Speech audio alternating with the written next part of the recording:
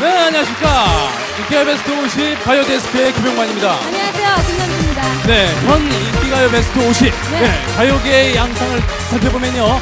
어, 신인 가수들이 50여 개 팀이나 등장하고 있습니다. 기성 가수들과 함께 어울려 출출전 60대를 반복해 하고 있습니다. 국민 여러분들께서는요, 이에 가요계 변동 추이에 적극을 건져 세우시고, 긴장을 놓치면 큰일 나겠습니다. 김용만 씨. 이상입니다. 이제 그만하세요.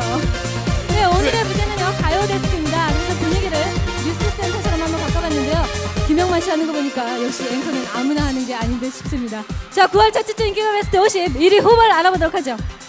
아, 1위 후보 알아보죠. 예, 알아보겠습니다. 예. 자, 룰라의 슬리퍼 그리고 신승훈의 내 방식대로의 사랑 그리고 터보의 Twist King 이상 세 곡이 올라와 있는데요. 네. 자, 터보의 Twist King 같은 경우에요. 네. 데뷔한 지 4주 만에 1위를 차지하는 진기록을 낳았습니다. 그렇습니다. 지난주에. 그래서 예. 이번 주도 과연 어떻게 될까 긴장이 되고 있는데요. 네, 그러면 여기서요 이번 주 15위를 차지한 네. 매력적 우먼 파워 비비의 노래로 들어보겠습니다. 비련. 예. 네.